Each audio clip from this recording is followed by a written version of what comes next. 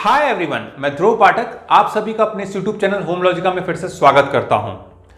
जब भी हमें घर लेना हो तो सबसे पहले यही सवाल आता है कि ready to move in property लें या फिर अंडर कंस्ट्रक्शन प्रॉपर्टी बुक करें। अगर आप भी इसी दुविधा में हैं तो आज का यह वीडियो आपके लिए ही है। आज के इस वीडियो में हम उन तमाम पहलुओं को डिस्कस करेंगे जो कि आपको डिसीज़न लेने में हेल्प करेगा कि कौन सी प्रॉपर्टी आपके लिए फ़ायदे का सौदा होगी। सबसे पहले हम रेडी टू मूव इन और अंडर कंस्ट्रक्शन के फ़र्क को समझ लेते हैं। Ready to move in property में हमें पोजीशन तुरंत मिलता है। वहीं अंडर कंस्ट्रक्शन प्रॉपर्टी के लिए हमें वेट करना पड़ता है। और यह वेटिंग पीरियड डिपेंड करता है कंस्ट्रक्शन के स्टेज के ऊपर, जो कि कुछ महीनों से लेकर कुछ सालों तक का हो सकता है। तो चलिए बिना किसी देरी के शुरू करते हैं आज का यह वीडियो सबसे पहले बात करते हैं रिस्क एंड रिटर्न्स की। तो रेडी टू मूव इन में लो रिस्क और लो रिटर्न्स होता है। यहाँ प्रॉपर्टी का पोजीशन तुरंत मिलता है और प्रॉपर्टी थोड़ी एक्सपेंसिव हो सकती है, क्योंकि उसका एप्रिसिएशन ऑलरेडी हो चुका होता है। वहीं अंडर कंस्ट्रक्शन में मीडियम रिस्क और हाई रिटर्न्स होता है। अंडर कंस्ट्रक्शन प्रॉपर्टी के पोजीशन में टाइम लगने के कारण इसका प्राइस कम होता है। डिलीवरी होने तक इस प्रॉपर्टी का एप्रिसिएशन भी अच्छा हो जाता है। जहाँ तक रिस्क की बात है तो दो बड़े फैक्टर्स देखने होते हैं। पहला टाइमली डिलीवरी और दूसरा सराउंडिंग का एनवायरमेंट अब बात करते हैं पेमेंट्स की। तो रेडी टू मूव इन के केस में पूरा पेमेंट हमें इमीडिएट करना होता है, जिसके कारण बैंक की ईएमआई भी एक साथ चालू हो जाती है। वहीं दूसरी ओर अंडर कंस्ट्रक्शन प्रॉपर्टी में कंस्ट्रक्शन लिंक प्लान फॉलो किया जाता है, जिससे आप पर ईएमआई का बर्डन एक साथ नहीं आता और ईएमआई धीरे धीरे बढ़ती है। पर जब तक पोजीशन नहीं मिलता, तब तक आपको रेंट भी पे करना पड़ता है। आगे बढ़ते हैं। देखते हैं टैक्स बेनिफिट्स तो रेडी टू मूव इन के केस में प्रॉपर्टी में टैक्स बेनिफिट को इमीडिएटली अवेल किया जा सकता है। वहीं दूसरी ओर अंडर कंस्ट्रक्शन में पोजेशन के बाद ही टैक्स बेनिफिट को अवेल कर सकते हैं। अगर मॉडिफिकेशंस की बात करें तो रेडी टू मूव इन में फ्लैट के अंदर मॉडिफिकेशन का स्कोप बहुत लिमिटेड होता है और काफ़ी महँगा भी साबित हो सकता है। वहीं दूसरी तरफ़ अंडर कंस्ट्रक्शन में मॉडिफिकेशन के लिए हमेशा रूम बना रहता है।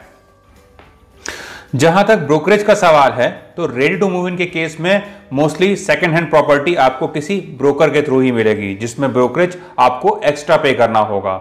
उधर अंडर कंस्ट्रक्शन में आप प्रॉपर्टी किसी चैनल पार्टनर या डायरेक्ट बिल्डर से ही बाय करते हैं। दोनों में ही ब्रोकरेज का कोई स्कोप नहीं होता। चलिए, आगे बढ़ते हैं और बात करते हैं टेक्नोलॉजी और लेआउट की। तो रेडी टू मूव इन के केस में प्रॉपर्टी की टेक्नोलॉजी थोड़ी आउटडेटेड हो सकती है। इसके साथ ही अगर बिल्डिंग ज़्यादा पुरानी हुई तो लेआउट लिफ्ट इंफ्रा ये सब भी पुराना होता है।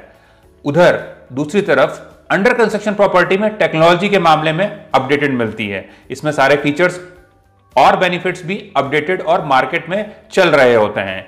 Example home automation amenities etcetera एक बहुत ही इंपॉर्टेंट एस्पेक्ट है चॉइस ऑफ़ फ्लैट्स जहाँ पर रेडी टू मूव इन में आपकी चॉइस का फ्लैट बहुत कम होता है, क्योंकि ये मार्केट अंडर कंस्ट्रक्शन प्रॉपर्टी के जितना बड़ा नहीं है। चॉइस से हमारा मतलब है floor facing vastu compliant etcetera उधर अंडर कंस्ट्रक्शन में आपको मल्टीपल चॉइस के ऑप्शंस मिल जाते हैं, क्योंकि ये मार्केट काफ़ी बड़ा और ऑप्शंस बहुत ज़्यादा हैं। यहाँ पर भी कुछ हिडन सरप्राइजेस हो सकते हैं।